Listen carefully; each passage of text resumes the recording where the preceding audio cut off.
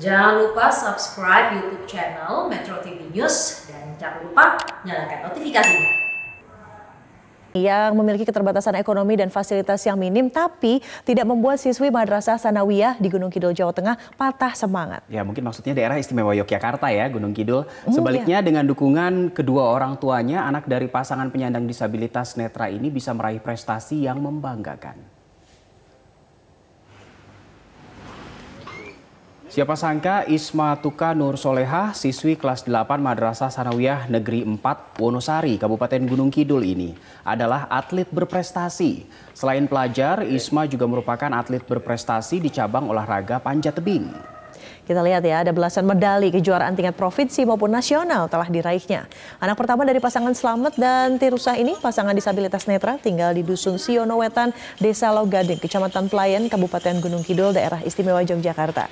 Sehari-hari, Isma juga membantu kedua orang tuanya yang berprofesi sebagai tukang pijat. Seperti siswa sebaya di desanya, saat pandemi yang memaksa sekolahnya menutup kegiatan belajar tatap muka, Isma mengaku cukup terkendala saat harus mengikuti pelajaran secara daring. Ya, karena satu-satunya telepon genggam yang dibeli dari hasil tabungannya dari berbagai kejuaraan panjat tebing justru hilang dicuri. Aduh.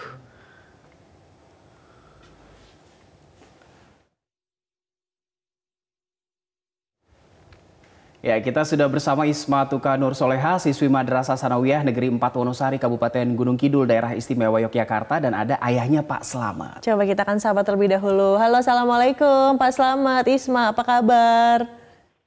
Waalaikumsalam. Kabarnya baik. Alhamdulillah. Alhamdulillah. Saya pengen ke Isma dulu. Mak, kamu tuh kok senengnya manjat-manjat piye toh? Ceritain dong, bisa sampai berprestasi keren banget loh. Silakan, Mak.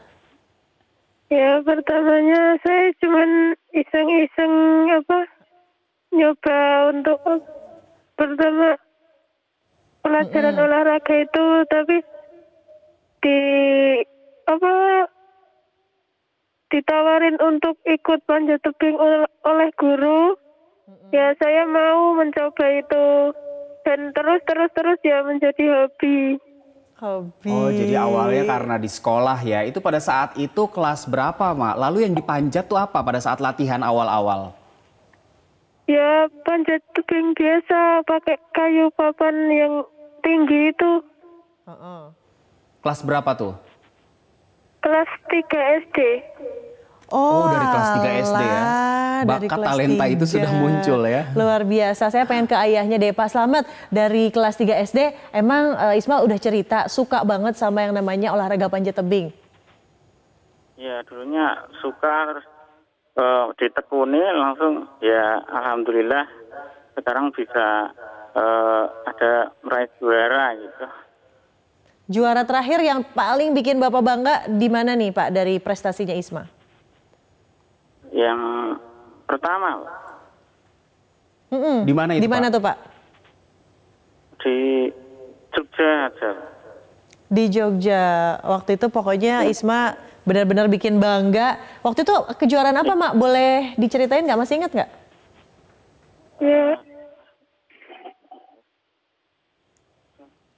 Mak, kejuaraan apa Mak? Juara, juara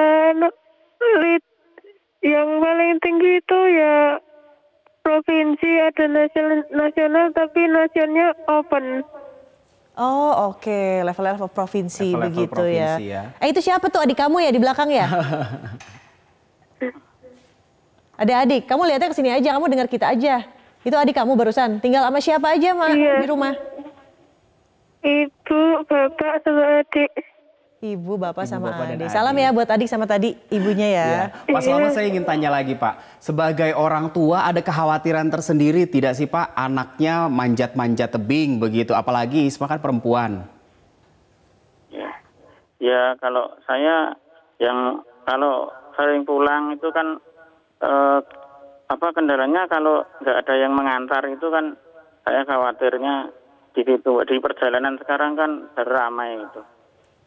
Hmm. Oke, justru lebih khawatir pada saat perjalanan menuju lokasi begitu ya. Iya, Jadi biasanya iya, Pak.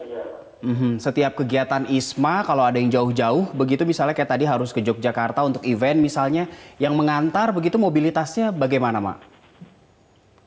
Nah, itu dari gurunya. Oh, oke. Selama ini dibantu oleh guru dan juga panitia mungkin ya Pak ya yang menyediakan transportasi.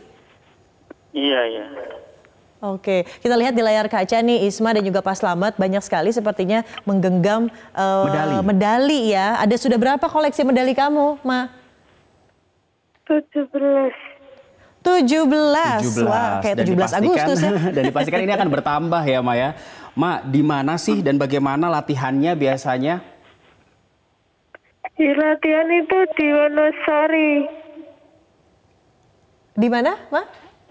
Wonosari. Oh, di Oke, Wonosari. berapa lama sekali biasanya kamu latihan? Dalam seminggu biasanya spare waktu berapa lama untuk latihan? Kalau satu minggu itu enam kali. Seminggu tuh ya, Ma? Dua, iya. Enam kali dalam satu minggu. Enam kali dalam satu minggu, cukup Oke. masif ya. Berarti dapat 17 medali, lumayan banyak. Dan biasanya mak 17 medali ini yang kamu dapat kan dapat uang juga mungkin ya. Uangnya biasanya dialokasikan untuk beli apa sih?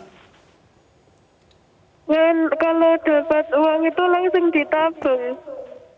Langsung ditabung. ditabung. Oke. Boleh tahu nggak eh, kamu berapa kali udah dapat hadiah uang nih?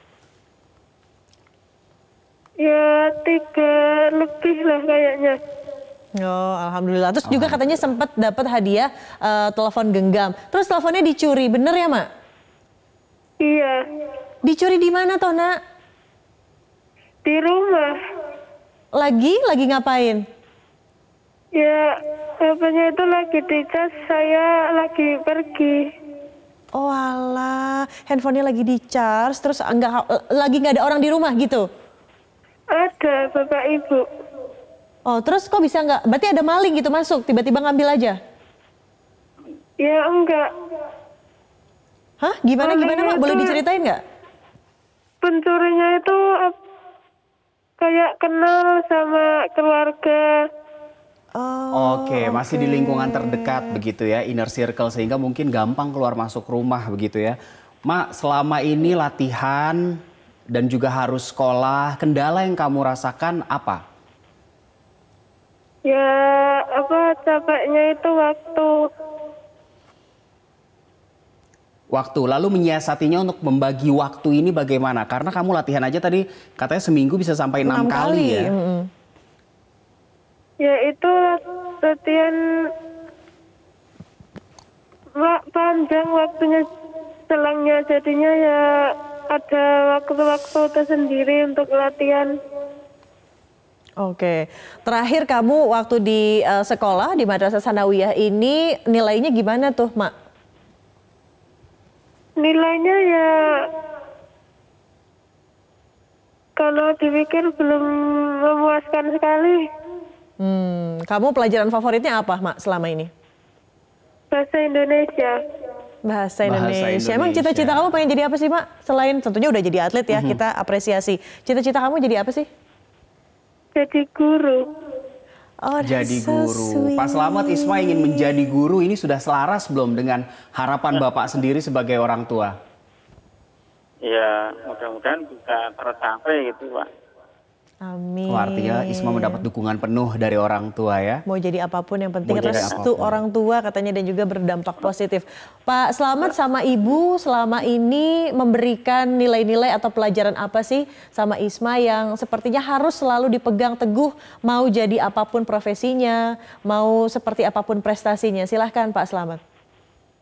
Ya, kalau saya sebagai orang tua, eh, Isma itu menjadi apa pun yang penting jujur dan bisa menjaga diri gitu. Oke, yang penting jujur ya, itu kata kunci utama kalau dari Pak Selamat. Isma itu pesannya dari Bapak, sukses selalu untuk melanjutkan kegiatan baik itu di sekolah maupun panjat tebingnya.